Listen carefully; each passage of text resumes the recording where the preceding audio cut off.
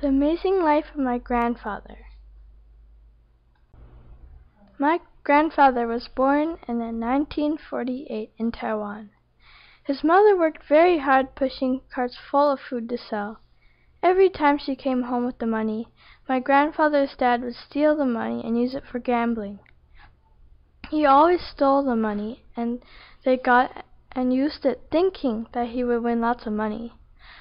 He usually lost, so they were very poor and had to live on the street. A very generous person said that my grandfather and his family could live in their kitchen, because they didn't use that kitchen any more. Not too long after, they lived on a farm. The other kids who also lived on the farm would make fun of my grandfather, because he was blind. Made him ma this made them mad, so at midnight he would set traps for those mean kids. He tied strings across a trail to trip the kids as they walked to school. Sometimes my grandfather and his friends would go to other people's farms and steal the farmers' fruit, but the but usually the farmers would notice. When the farmer noticed, all my grandfather's friends would run as fast as they could and would escape. But my grandfather couldn't see, so he always got caught and got in trouble. During that time my grandfather was around three or four years old when he got a sickness called polio. While he was sick he turned blind and couldn't walk. His mom had to carry him a long way to the hospital. When she finally got him to the hospital it took a long time for the doctor to fix the disease.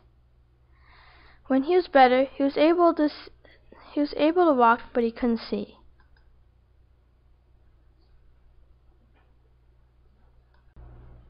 One day my mom his mom found a school for blind kids and and for kids who couldn't hear.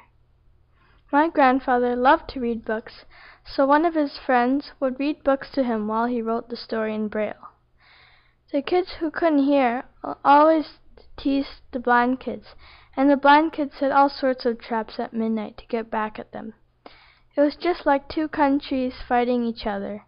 One day while my grandfather was walking home, a fortune teller told my grandfather's parents that in the future my grandfather would have a big company and have several houses and his family would all depend on him.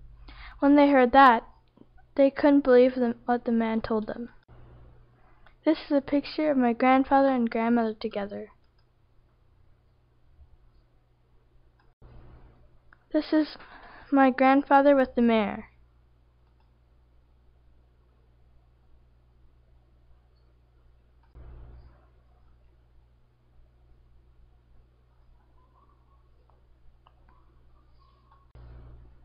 When my grandfather grew up, he did have a big company, several houses, and his family did depend on him.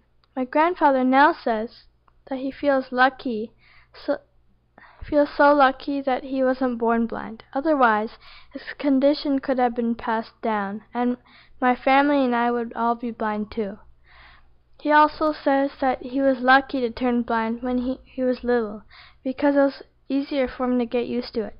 He says that it was much harder for my grandmother, who went blind when she was seventeen.